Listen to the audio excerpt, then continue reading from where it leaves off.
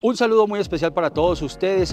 Último programa de este año 2022. Escogimos un programa bastante especial. Ustedes saben que esto es un café como excusa y es una muy buena excusa para saludar a Germán, a Germán Maldonado. Germán, ¿qué tal? Bienvenido. Hola Ricardo, muchísimas gracias por su invitación. Sí, aquí qué delicia con este cafecito y con esta belleza de, de panorama que tenemos alrededor. Qué rico tenerlo por acá. En este programa brindamos con café, Germán. Ah, bueno, caramba, qué Aquí maravilla. Después brindaremos con otras cositas, Claro pero que sí. Germán, buen tomador de café o no? Sí, me encanta el café. Realmente me tomo por ahí unas 4 o 5 tazas en la mañana y 4 o 5 tazas en la tarde. Bueno, estamos muy parejos. Lo que sí trato es de que sea pequeño. Me gusta así el café pequeño, pero Sí. sí me gusta el café. Siempre sin azúcar. Siempre sin azúcar, tristemente, digo tristemente no, de azúcar ha sido como unos 30 años para acá. Afortunadamente porque no me gusta el azúcar y ya hoy por salud ya me han recomendado mérmele al azúcar, entonces se Además, combina perfecto. El café sin azúcar es, es- es- es de- así debería de ser, ¿no? Lo saborea uno más, lo siente uno más porque el azúcar siempre lo, lo- lo disfraza, entonces yo lo disfruto así, delicioso. Y, y esa tradición, Germán, de tomar café, la heredas obviamente también de tus papás, de tus abuelos, o no fueron muy cafeteros, o sí. Sí, claro, mire, yo soy, no sé si Ricardo seguramente, yo soy bogotano Ajá. y hace 30 años me vine a vivir a Manizales, me casé con manizaleña que sí es de familia cafetera, ella en Caldas. Pero el caso por mi lado, que siendo bogotano, en, en una zona de Cundinamarca que se llama eh, la zona del Tequendama, mesitas del colegio, mis abuelos tenían finca de café y mi papá inclusive eh, administró la finca de café muchos años. Entonces yo puedo decir que yo sí vengo de cultura cafetera, pero en Cundinamarca, más no en la zona cafetera. Entonces sí he disfrutado y he vivido el café y he cogido café de chiquito, me mandaban, o yo salía a coger café feliz, feliz, feliz. Y aquí estás, digamos, hoy en día, Germán, en un entorno muy cafetero, pues primero al lado de la- del Comité Departamental de Cafeteros y en este recinto del pensamiento donde, donde todo es café, ¿no? Sí, aquí se vive café, aquí se tiene una zona que es donde hacen eh, eh, cataciones de café, eh, se hacen presentaciones de café, están las oficinas del Comité de Cafeteros de Caldas. No hay café porque aquí siempre estaremos a 2.200 metros, entonces digamos que no vemos café, pero efectivamente está la institucionalidad cafetera, estamos en el, en el recinto del pensamiento que es donde está, se vive la institucionalidad cafetera. Invitamos a Germán Maldonado el día de hoy, pues primero porque es un gran amigo, conozco hace muchos años, Germán trabajó muchos años en el sector de la hotelería y hoy en día está gerenciando la Corporación para el Desarrollo de Caldas, una corporación bastante especial, una corporación que durante todo el año hace eventos, visualiza la ciudad, visualiza el departamento, digamos que, que- es una actividad, Germán, permanente de de, un tema empresarial, es un tema, digamos, muy, muy de visibilidad de la ciudad, pero de una manera muy especial lo que hace la Corporación para el Desarrollo. Sí, claro, inclusive Ricardo aprovecho a través de estos, este medio suyo, que qué maravilla que, que tenga bastante eh, penetración en el departamento de Caldas y que nos estén viendo.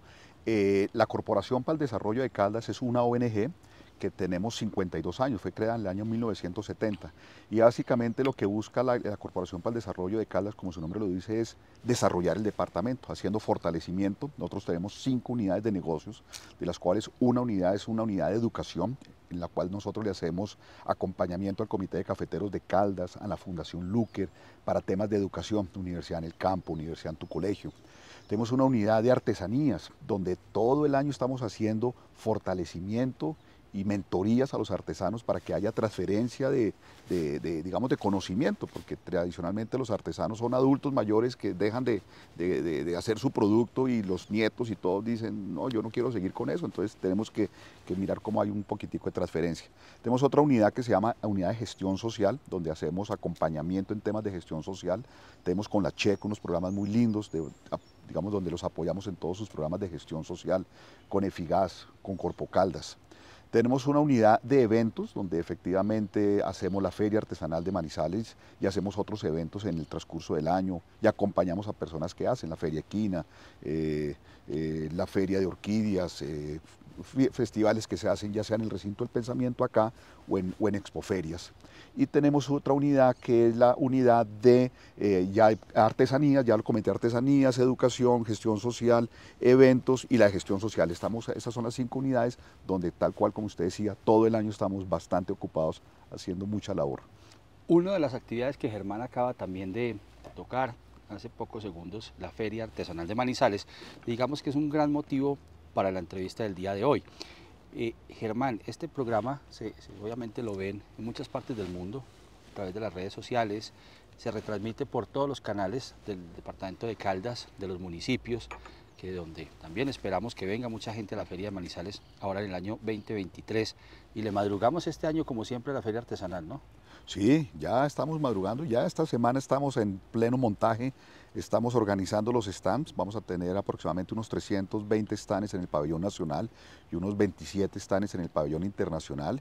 Y sí, como usted bien dice, nos adelantamos porque estamos en el 2022, pero ya en 10 días en el 2023 y el primero de enero a las 10 de la mañana estaremos abriendo nuestras puertas ya para poder recibirlos a todos ustedes en la Feria Artesanal de Manizales. Además que es uno de los eventos, o digamos que el evento que siempre ha tenido más visitantes, un récord de visitantes realmente la gente por la feria artesanal nunca pierde ese, digamos, ese, ese, fervor, ¿no?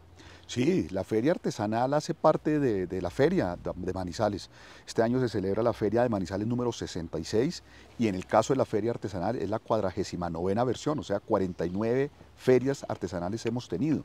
Y es así como ya es una feria, como usted bien dice, de tradición y hay personas, adultos mayores que inclusive van a la feria artesanal y dicen, yo hice ferias. Ah, sí, ¿qué hiciste, abuelo? ¿Qué hiciste, papá? No, estuve en la feria artesanal de Manizales. Ahora, lo que, lo que significa la feria artesanal para los niños, eso es otra cosa. Sí, claro, disfrutan y encuentran su detalle y encuentran su, su, el arte, porque es que el arte, el arte hoy en día, manillas, collares, sombreros, eh, temas de cuero, entonces los niños también encuentran algo para ellos. Hay temas en madera, juegos en madera muy lindos. Y bueno, y tenemos un molde de comida donde encuentran diversidad de productos eh, de, pues, de gastronomía. Entonces pueden disfrutar un día completo en la feria artesanal. Hay una pregunta, Germán, que es obligada y siempre, digamos, a los periodistas nos la hacen. Cuando hay gente que viene a la feria artesanal, dice, ah, qué pesar no haber sabido que existía, ¿será que ya puedo participar? Contarle a las personas, a los artesanos del país y del mundo que quieran hacer parte de la feria artesanal, cuál es ese proceso, casi que terminada la feria de Manizales anterior, deben hacer un proceso ya de inscripción, deben reservar un cupo. ¿Cómo es ese proceso para los artesanos? Sí, mira Ricardo, nosotros una vez se termina la feria, empezamos nuevamente a pensar en la feria del año siguiente. Y es así donde a través de nuestra página web eh, nosotros empezamos a informar eh, las fechas de la convocatoria. La convocatoria es que las personas se empiezan a, presentar y nosotros hacemos una curaduría de los productos, eh, de sus procesos de producción y en general sus lo, que van a ofrecer para la feria. Y es así donde se abre la convocatoria, se cierra normalmente en septiembre, se está cerrando la convocatoria eh, de los 600, 700, 800 posibles artesanos que puedan participar y se empieza a hacer un proceso de selección. Entonces sí es importante, es, síganos eh, por las redes sociales, que nos sigan a nosotros para estar pendientes, Feria Artesanal de Manizales, Artesanías de Caldas, que también es un, digamos un dominio nuestro que tenemos, y a través también de la página web de la Corporación para el Desarrollo de Caldas. Y es así donde los artesanos se pueden presentar y miran a ver si, si, se animan y obviamente les damos las características y las condiciones y la fecha que es muy importante porque siempre es en la primera semana de enero.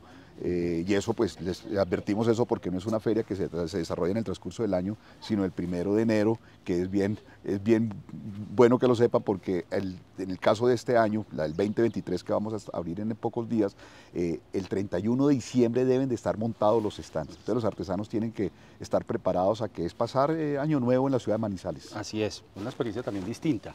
Germán, ¿cómo es el tema de los países invitados? Sí, todos los años tradicionalmente hacemos la invitación a que participen eh, expositores de, un país diferente. Para la versión que viene ahora, 2023, eh, tenemos un eh, invitado internacional que son países del Mediterráneo. Aquí se unieron cuatro países en sus artesanías, de países del Mediterráneo, como son Marruecos, Grecia, Turquía e Italia. Esos países comparten en, el mar Mediterráneo una zona y tienen unas artesanías muy lindas y vamos a tener un salón como invitado internacional países del Mediterráneo. Algo que también gusta mucho en la feria artesanal, recordarle a la gente, hay muchas novedades, pero una que este año Germán ha implementado y que me parece absolutamente ganadora y ojalá los manizaleños y los visitantes podamos hacer uso de ella, es la ruta circular. Me parece que es un tema muy novedoso, sobre todo atendiendo que obviamente el parqueadero y los parqueaderos que se habilitan alrededor de la feria artesanal son insuficientes y por supuesto pues la congestión que se genera pues yo creo que es una manera de aportarle a la movilidad de la ciudad. Sí, eh, Ricardo, es un tema importante porque desafortunadamente el recinto Expoferias no cuenta con una capacidad de, parqueadero bien amplio, no, es, es, bastante pequeño y restringido y es así donde estamos invitando no solo que lleguen a través de transporte público, ojalá lleguen caminando, ojalá los lleven las o que de alguna forma puedan llegar al recinto, sino que también hemos montado una ruta circular que saldrá del cable y hará un recorrido cable expoferias, expoferias cable. Entonces es así donde estará 15 minutos parqueado en el sector del cable, va a estar brandeado, o sea, tendrá su marca, las personas se montan, se bajan en expoferias, se espera unos minutos en expoferias para que quienes estén ahí se puedan montar. Y eso lo hacemos para, con el ánimo de que la gente pueda eh, parquear en otra zona de la ciudad, como puede ser en el sector del cable, y poder llegar eh, de alguna forma espero que rápidamente expoferias. Y digo rápidamente porque sé que es complejo a veces la movilidad en la avenida Alberto Mendoza en los días de feria. Maravillosa, maravillosa esa idea. Germán, entonces recordemos, del 1 al 10. Sí, Ricardo, el primero de enero, que es un domingo, a las 10 de la mañana abriremos las puertas, vamos a las 8 de la noche y vamos hasta el martes 10 de enero, que es el día siguiente del puente. El festivo, el festivo es el lunes 9, nosotros estamos el martes. ¿Y por qué lo hacemos? Tradicionalmente lo hacemos un día eh, adicional porque hay personas que estuvieron metidas en la feria, en actividades y que no tuvieron tiempo de ir a la feria artesanal, entonces por eso dejamos este día para que la gente disfrute la feria artesanal. ¿Cafecito va a haber en la feria? Sí, allá hay cafecito, no, cafecito, ya disfrutan, pues tenemos, eh, no, y muy, ojalá nos visiten, una boletería, eh, pues obviamente yo creo que es un precio cómodo, eh, quisiera uno abrir las puertas, pero desafortunadamente nosotros como organizadores tenemos que, que, generar unos ingresos para poder pagar una cantidad de costos. Tienen la boletería un valor de 17 mil pesos boletería general.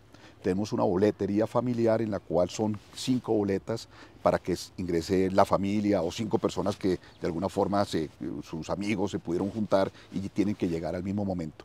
Y niños menores de 7 años no tiene valor. Entonces invitamos a que nos visiten, a que estén allá y puedan disfrutar allá de un cafecito, una cervecita, jugos, helados, comida y gastronomía. Y este año un acierto el, jefe de prensa de, la feria con Choco, con nuestro querido Choco Juan David Martínez, ¿no? Claro, sí, muy contento. Choco nos está apoyando, eh, Juan David. Juan David conoce mucho del tema y es así como me está haciendo todo el apoyo a través de los medios y hacer buena comunicación para que nos vean a través de todos los medios posibles que puedan ver de la Feria Artesanal de Manizales. Maravillosa elección. Germán, muchas gracias. A ustedes, Ricardo, muchas gracias por la invitación. Bueno, esta es su casa y por allá esperamos verlo en la Feria Artesanal de Manizales en su versión número 49. Un feliz año para la familia también. Muchas gracias, Ricardo. Lo mismo por la casa a ustedes. Muchas gracias. Y para todos ustedes también un feliz año. Muchas gracias a todos ustedes por habernos acompañado en este año 2022 por supuesto al portal de Noticias Infolibre que nos permite retransmitir este programa por nuestras distintas, eh, nuestras distintas emisoras, los distintos canales.